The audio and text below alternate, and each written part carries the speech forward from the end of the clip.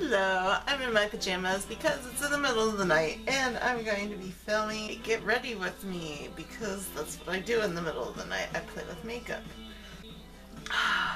Tonight I'm sipping on Yogi antioxidant green tea and I don't know if I'm the only person but I just get like the most satisfying feeling from drinking a nice hot cup of unsweetened green tea. It's delicious. Green tea is probably one of my favorite types of tea. I have a couple palettes I haven't tested out yet. I think I might test out this City Limits palette that's completely untouched here by IBY. I just got that Yes Oh Yes. So let's get started with the face. I've almost emptied this moisturizer. This is Clinique Dramatically Different Moisturizing Lotion. Okay, next I'm gonna go in with my Azure Lux 24 karat gold sparkling oil serum. So, I don't really know what to talk about this video thing, so I'm just gonna talk about whatever pops into mind. I've got several ideas for Halloween videos, and I kind of procrastinated on that. Hopefully I can finish all I want to finish in time. I've got this nail tutorial that I'm editing right now. Then I just uh, made a wig. Hopefully the wig turns out okay. And then I'm going to do a makeup tutorial using that wig. I'm probably only going to do one or two makeup tutorials this year. And I plan to do three nail tutorials, including the two that I've already done. I'm going in with my Principal Secrets Continuous Lifting Serum. Super excited for Halloween. Um, I met this fellow YouTuber who lives in the same city I do on FreeCycle and I needed Halloween decorations so I posted an ad on FreeCycle and uh, she responded and gave me some Halloween decorations, which is hella awesome of her. Her name's Morticia, and their channel is like Jekyll, Jekyll and Hyde something. I'll leave the link in the description box, but you should check them out. They're awesome. Every day of the year is Halloween to them, and that is just totally awesome to me. They do a lot of Halloween hauls and spooky activities. Check them out if you're into the spooky spirits. Anyway, so now I have lots of Halloween decorations for the kids and I have lots of toys and candy and now I'm going in with this 111 Skin Harley St. London Space Defense Bright Eye Lift Gel. I just got this in an Etsy seems to work okay. I really love the scent. I'm not really noticing any difference between this serum and my Principal Secret serum, but I notice when I combine the two, I get like even more of a lift on my under eye wrinkles and my forehead wrinkles. So that's just really beneficial to mix the two. I was really happy that they did send a serum to me because serums are expensive and I use them every time I put on my makeup. It really does make a difference if you're starting to show your age. Use a serum. Um, this tea, is like, it kind of tastes like it has berries or something in it. I didn't read the ingredients, but it tastes kind of sweet. So next we're going to go in with my concealer. This is part of my Project Pan. This is the Bella Pierre Pro Concealer Palette. And I'm going to go in with the orange using a sponge. And next I'm going to take my Manic Panic Creature of the Night foundation in Lily White and pat that over top of the concealer. I'm actually a big fan of Yogi Tea. It's a local tea company. I think from Eugene, Oregon, so they're not too far away. I know they're from somewhere in Oregon. I've always liked Yogi Tea, but I have to be careful because I am allergic to chamomile, so I have to make sure the tea does not contain chamomile. I'm taking my Bare Minerals face brush with the well in it, perfecting face, I don't know what it's called. I'm taking my Almay Wake Up foundation and just getting that on the face. It's probably going to take several pumps. And I've decided I don't really like this primer I've been using. In fact, I should just give it away. it's just not the right type of primer for my skin tone. It makes me break out like crazy. That's the Hard Candy Sheer Envy primer. So I'm not going to use that anymore. I'm just going to get rid of it. I got rid of a whole bunch of makeup last night. I should have like filmed a declutter video, but I just didn't. I got rid of like a large makeup bag full of makeup. It wasn't that big of a declutter. I've done bigger declutter. What I got rid of was a few Wet n Wild palettes that were really old. I got rid of a few Physician Formula shimmer strip palettes that were old. I got rid of a bunch of lip gloss. Oh, I got rid of some of my Essence single eyeshadows too. Usually what I do with my extra makeup is I either give it to my neighbors or I give it to my apartment manager who donates it to the women's shelter because she works for women's shelter. I should probably add a new primer to my project pan. I don't know, I kind of want to start using a luminescent primer. This is a moisturizer. Ooh, that's beautiful. I've never used this before. This is by Tarte. My mom gave this to me. I actually bought it from my mom and then my mom gave it to me.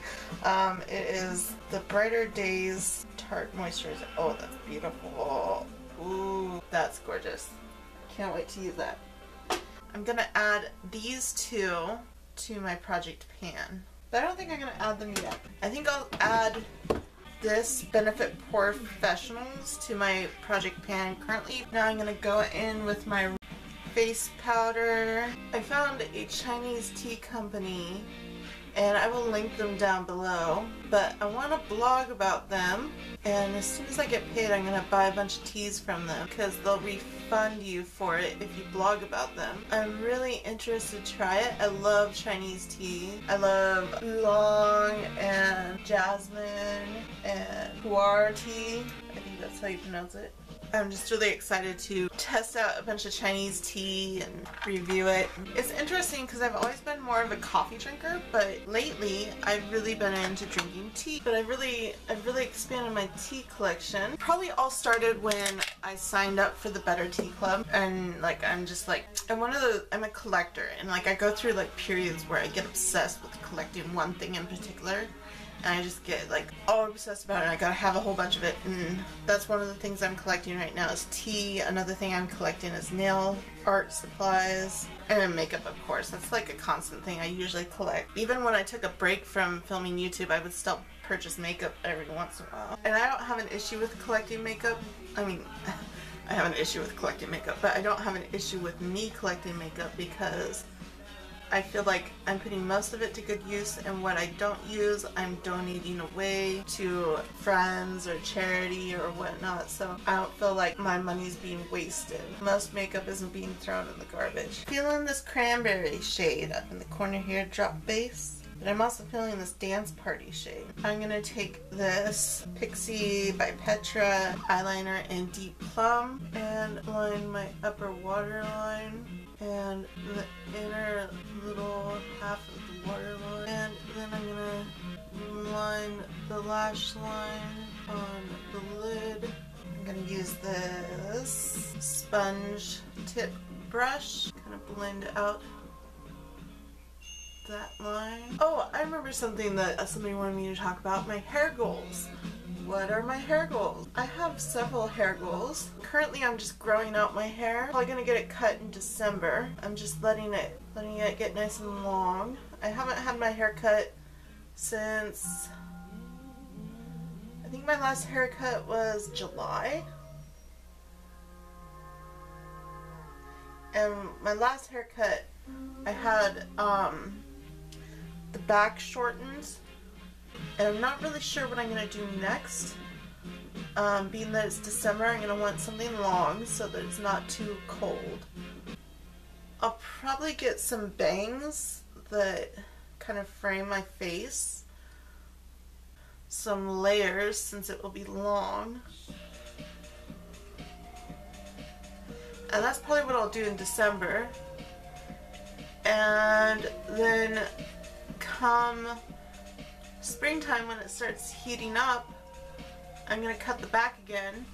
And depending on how long it is, I'm going to either cut the back where it's coming down like I did last time. Uh, what do you call that? A-line. Or I'm going to do an undercut. But my main goal is to grow it out uh, long again. I don't really care so much about the back if it's shaved, but I want to grow the front and the top part long again. And as far as the color, what I've been doing is I've been adding um, Gentian Violet to my shampoo and conditioner to get it this like uh, lavender blonde. It's not, it's a little greasy because I haven't washed it. Well, I've, I've washed it, but I haven't washed it with shampoo. I've just uh, conditioned it because I don't, I like, don't like to wash my hair with shampoo on the daily. Like, that's really bad for the health of your hair. So I don't usually wash my hair with shampoo on the daily. And my hair will get really greasy like that because of it, but um, I usually only shampoo my hair um, at most three times a week. And then I'll condition my hair more than three times a week. Um, and then sometimes I'll leave, use leave-in conditioner too to keep it healthy and um, strong. I'm going to take this Coastal Scents um, round brush, round smoky brush, smudge brush, I don't know what these are called, smudge brush I think. Yeah, I'm to go into backstage. And just put that along the lash line. Um, I want to be able to curl my hair eventually again. Like, I can curl my hair now, but I want to have like long curls like I used to. And I want to um, be able to put my hair up in chopsticks again. I've decided I don't want to put dreads or braids or anything like that in my hair ever again because last time I dreaded my hair, um, it made my hair really fine and thin. It made a bunch of my hair fall out. So that was kind of a mistake. Um, I think my hair was just too heavy or the braids were too tight or, or the dreads were too tight or I don't know. But I'm not going to do that ever again. Okay, next I'm going into drop base. I'm not opposed to wearing wigs though. I'm doing drop base in the inner corner. And I feel like I should do something else on the outer corner. So I'm bringing drop base into the inner part right there and it's kind of blending with the blue that was on the brush so I'm getting this really cool like rainbow macaw color coming on my eye from the mix of the red and the blue I'll probably end up dyeing my hair with more like interesting colors in the future my hair holds color really well. I usually don't have to bleach it for it to hold color, especially if it's really good quality dye.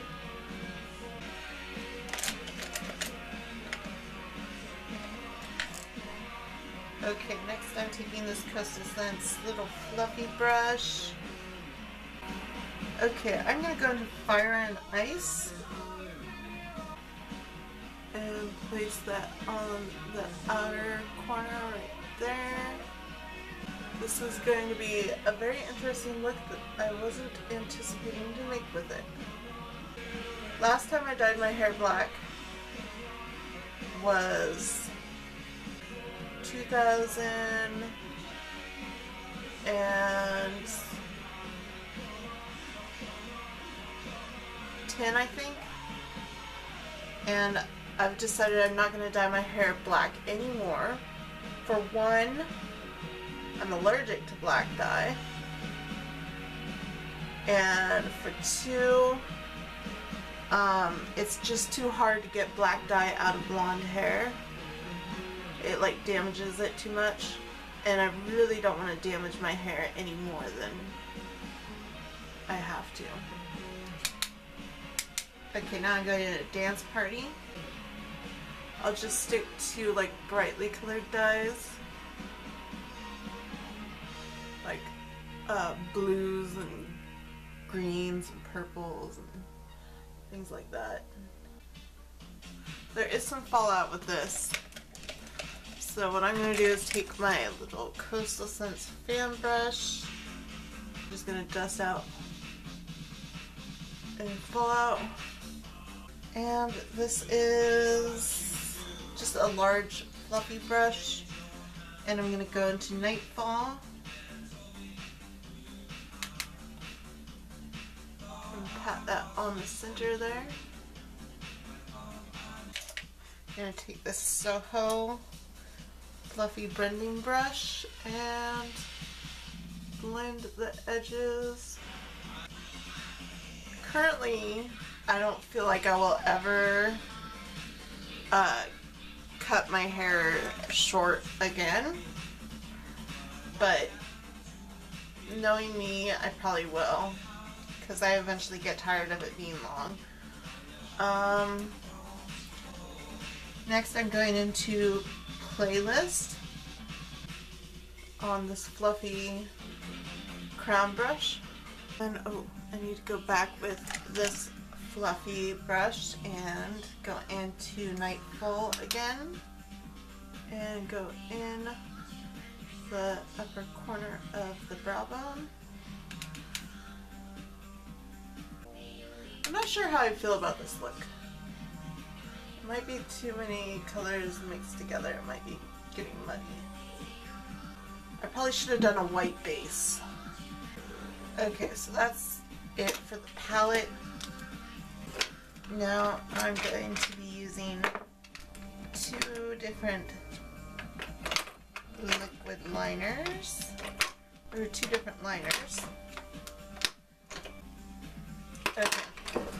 So first I'm going to do a line with this Warpaint Beauty um, True Love liquid liner and then I'm going to paint over top of that with this Ben Nye cream colors and blue. So we want to paint kind of a thick line with this war paint. Actually, you know what? I've changed my mind on how I'm going to do this. I'm going to do the front half of the line with the red and then I'm going to switch to blue on the outer half of the line. So do the other side of the eye. Okay, next I'm going in with this angled liner brush and the Ben Nye. I'm feeling very macabre with this. Okay, now I'm going to take some concealer and clean up those edges. And then I'm going to take this uh, Couture Diva liquid eyeshadow and then I'm going to take this Q-tip and just dab a little on it and run it along the inner part of my eye. And then I'm going to take this Hard Candy Walk the Line liner in Twist Up Lime and paint along the edge there. I feel like this needs eyelashes. Um, let's see what eyelashes I have. These blue eyelashes here? These, I don't know what these are. Um, the package has since been removed, but a friend of mine gave these to me. Next, I'm going to take this LA Colors Big Lash uh, Eye Mascara in Navy. Now I'm going to take this NYX mascara in mint julep and do the bottom lashes. So real quick I'm going to use some Cover FX um, setting spray on those eyes so they don't budge I'm gonna use this pretty vulgar blush in Prim Vixen that I got in a BoxyCharm. And I'm gonna use this crown brush that I got and I, yes, so yes, I think. I think that's where I got it. I want to focus most of that on the apples of my cheeks.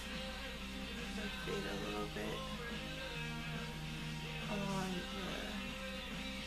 the cheekbone. I'm gonna just do the tip of my nose. And then I'm gonna take this Naked Cosmetics holographic highlighter set. And I'm gonna take this yellow highlighter on this SL Miss Glam highlighting brush. And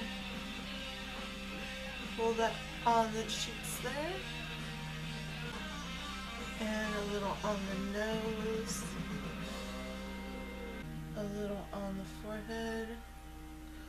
A little on the cupid's bow.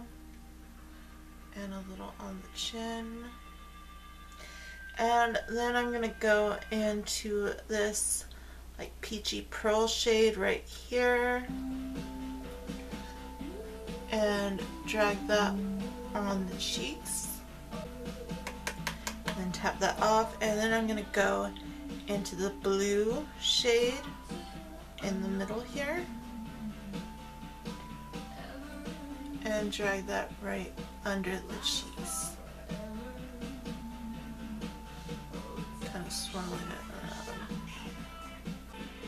How about I contour with this blue in the Party Animal palette by um, Laura Lee Los Angeles that I got in a BoxyCharm. I'm going to contour with this karaoke.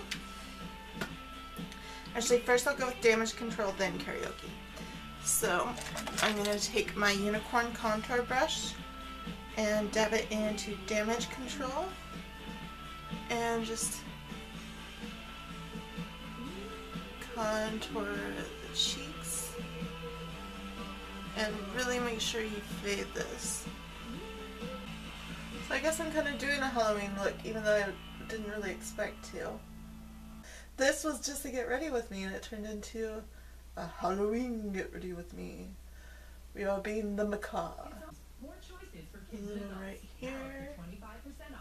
Plus, we're open late every night through Halloween. Party Just City. a little. Oh, it's on. You don't want it too dark right there. Really make sure to fade that out.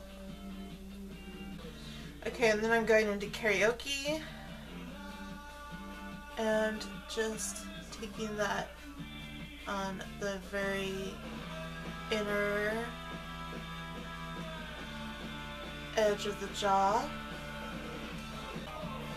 I think I'm going to take the same crown brush and go into bottoms up which is this beautiful glittery pink and put that right on the apples of my cheeks and kind of blend it. This AOA Studio lipstick in Lit and we're just doing the outer part of the lip. Next I'm taking my Katy Perry by CoverGirl lipstick in Beautiful Kitty doing the inner part of the lip.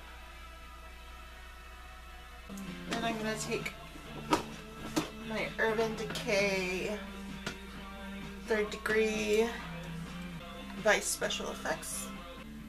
Put a little on the center of my lip. And tap that out. And on the top part of the lip. And tap that up. I'm also going to put a little on the high points of my cheeks.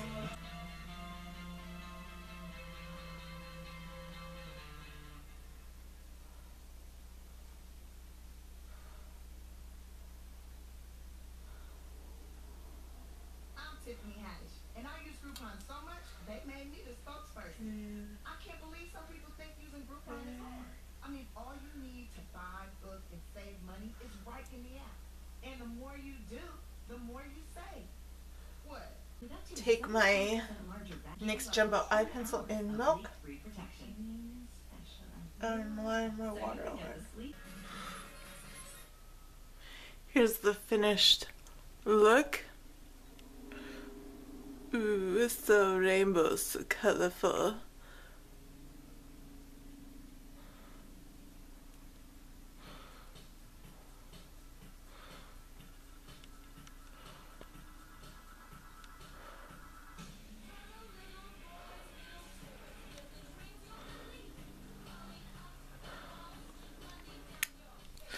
Thanks for watching. Bye.